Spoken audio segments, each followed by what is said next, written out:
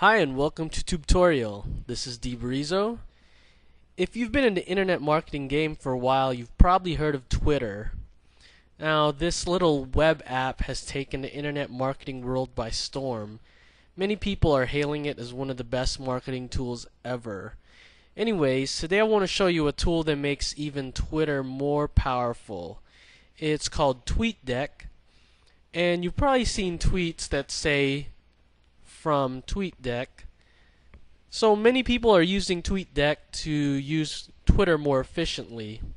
And to use TweetDeck, you just have to go to tweetdeck.com and you'll find a file that will install it for you. And once you've got TweetDeck installed, there are four ways, um, there are at least four ways it can improve your Twitter produ productivity as well as making Twitter even more fun to use. So let me go over those four ways. First, here we're at TweetDeck. TweetDeck lets you set up multiple columns instead of just the one column that Twitter has.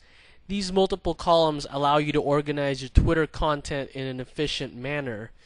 You may have heard that using multiple monitors improves productivity. That phenomenon is similar to using multiple columns on TweetDeck. So what kind of things can you put in these columns? Well, I think the biggest thing you can put in the columns is you can put the people that you follow into groups and then give those groups their own column. For example, here I have three groups. One is just uh, something I call high signal. These are the people on Twitter in my industry that talk a lot about my industry, whereas these this the people in this group, low signal, have more personal Twitter accounts, so they won't always talk about the industry. They'll talk about what they're eating, where they're going, just personal stuff. And finally, I have just um, a group of just my own tweets. So that's how I've chosen to use um, groups.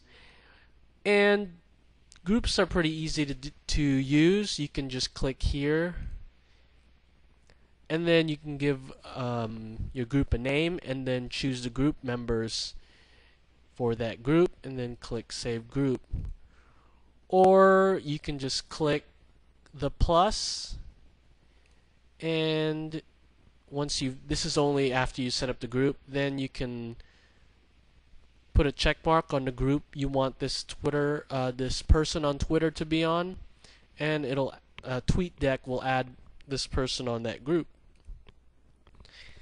So that's uh, one thing you can put in the columns. Also, you can have a column of replies people send you. So here's my replies column, and you can also pull it up by clicking here. And then you can have a column with all your friends' tweets. That's the default column on Twitter. And you'll see it pull up here. There you go. And then you can have a column with your direct messages. So you can click that. And actually, I don't have any direct messages.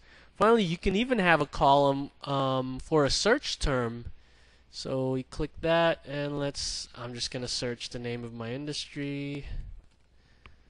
It's a collectible card game Magic the Gathering. Let's close this. And close this.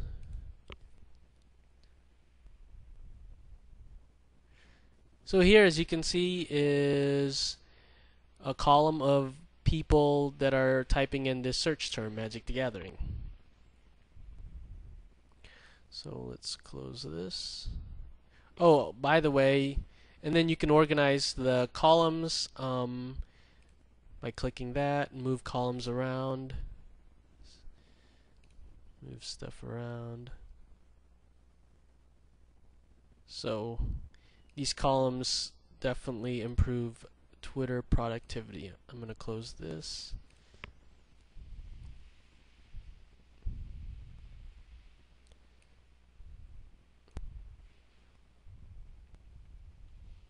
There we go. Okay. So the second way TweetDeck can improve your Twitter productivity is it, it allows you to retweet with just one click. And you just click on the profile or put your mouse over the profile picture and just click here and then click here and you've retweeted that click um, that tweet. So a lot more simple than having to copy and paste.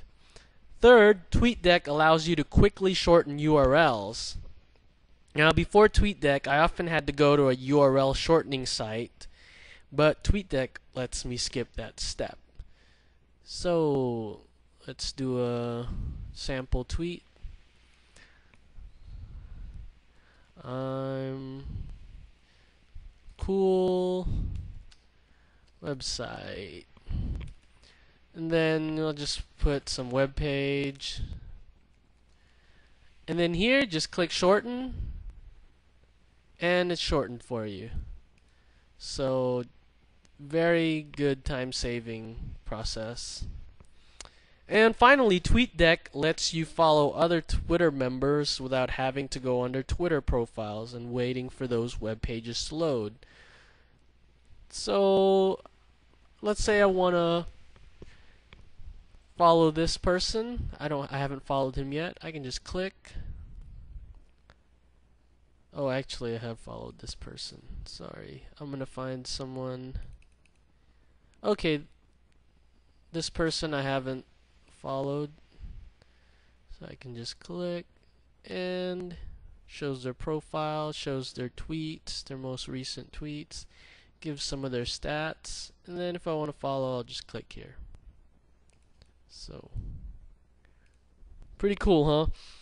Anyways, hope you enjoyed this episode. If you use TweetDeck, let us know your experience. And for more internet marketing videos, be sure to check out tubetorial.com.